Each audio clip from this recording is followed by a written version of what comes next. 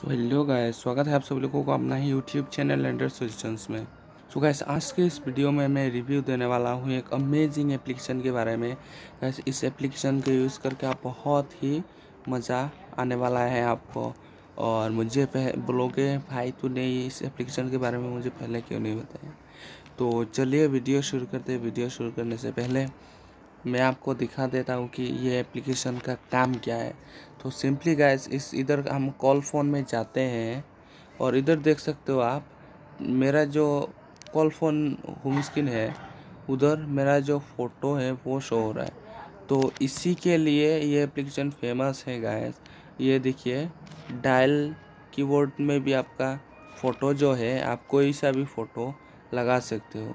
उसके बाद आप इधर अपना कॉल स्क्रीन सेट कर सकते हो फ़ोटो से। और भी बहुत सारे ऑप्शन हैं। आप वीडियो को अंत तक देखते रहिए।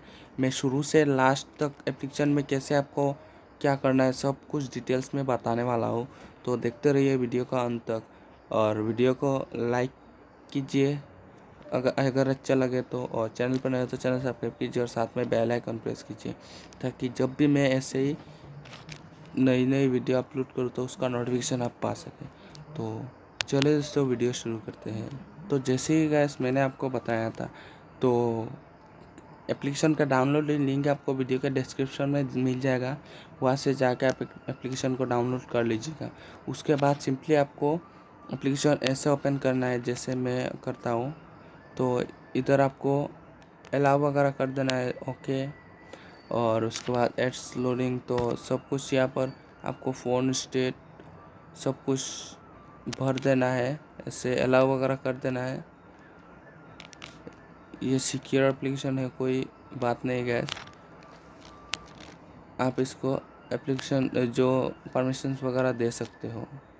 तो उसके बाद, जैसे आप बैग जाओगे तो ऐसे ही कुछ इंटरफेस देखेगा।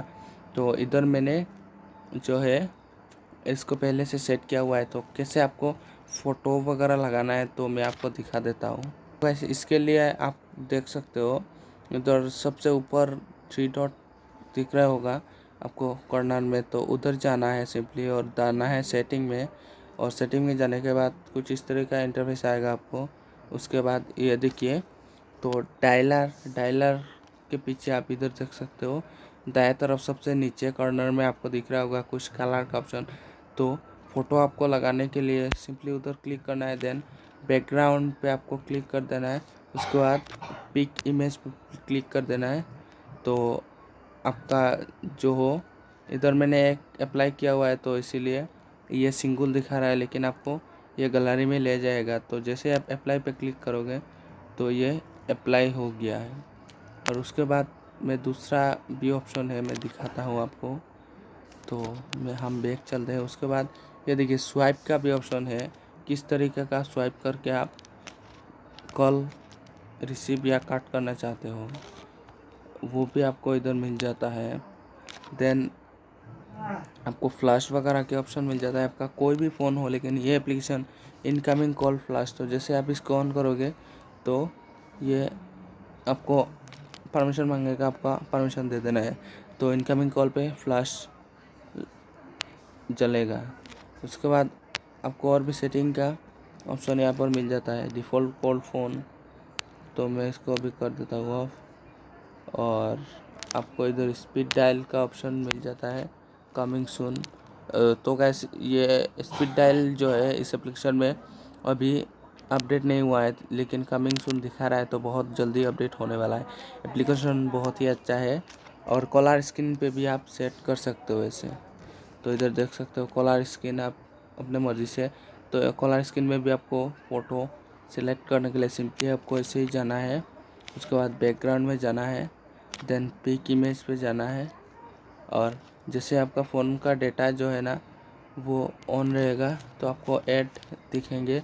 और अगर आपका फ़ोन ऑफ़ डेटा ऑफ़ रहेगा तो एड्स नहीं आएँगे। तो ऐसे आपको सेलेक्ट करना है। तो ये अमेजिंग एप्लीकेशन का यूज़ कीजिए, बहुत ही मज़ा आने वाला है आपको। और मिलते हैं दोस्तों अगले वीडियो पर, तब तक के लिए बाय